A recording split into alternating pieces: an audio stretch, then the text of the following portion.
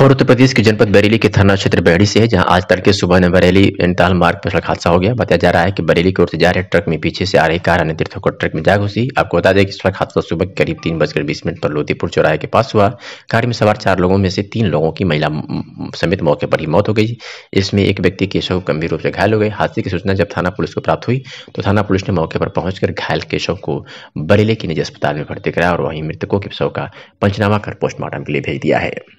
थाना क्षेत्र बहेड़ी में नैनीताल बरेली राष्ट्रीय राजमार्ग पर तड़के भोर में आज एक एक्सीडेंट हुआ है, जिसमें आगे चल रहे ट्रक में पीछे से आ रही कार ने टक्कर मार दी और उसके ट्रक के अंदर घुस गई थी।